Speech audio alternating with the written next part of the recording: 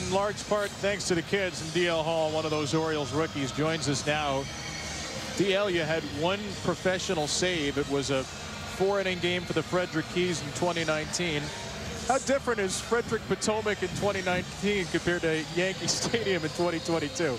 Uh, it's definitely a lot different. There's no doubt. it's a lot more lively uh, in this stadium, I'd say. But it was an unbelievable experience, and uh, I don't think it's really sat in yet. Well, what did you? I mean, tell me about the experience. You know, you went to the minors. You were starting pitcher, and they, they kind of groomed you to maybe not for this moment.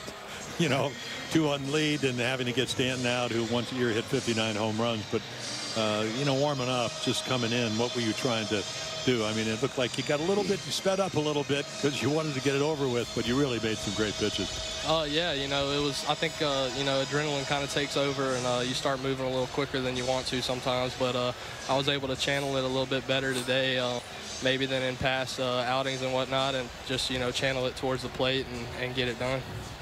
DL, your changeup the last couple of outings has been really sharp. Why has it been working? Um, it's something that uh, I've been focusing on a lot lately, uh, just with my delivery and timing stuff. Uh, it's it's really cleaned up all my off speed. Uh, just focusing on that that part of my uh, delivery, and it's it's it's really worked out for me, and I'm just going to continue to hammer it. Do you uh, think that the uh, costume you had to wear last night, because you were standing right next to me, I looked up. I, what, what, what, exactly was that? Uh, I don't even know what uh, what you would call it or what you. Well, you want to you care to describe it? Uh, I had on a uh, American flag speedo with uh, no shirt and then a uh, a beer belt. Uh, so yeah, that was our rookie and a cowboy hat and some sunglasses. all right, we're all wearing cowboy hats, sunglasses, and, and, and you were also tomorrow. you were doing what flight attendants do, you know, with, with the mask, the get, you know, the oxygen mask and all that.